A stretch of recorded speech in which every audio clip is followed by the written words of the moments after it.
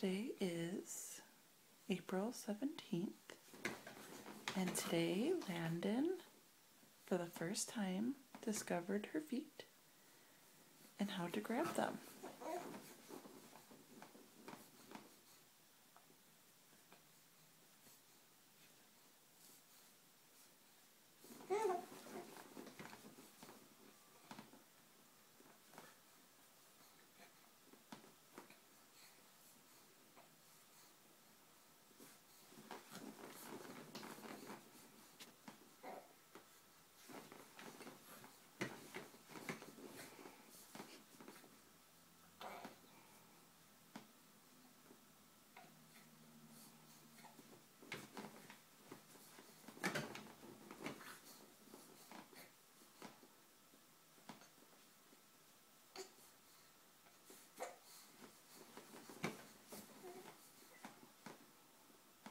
Landyn's gonna be four months old, about five days.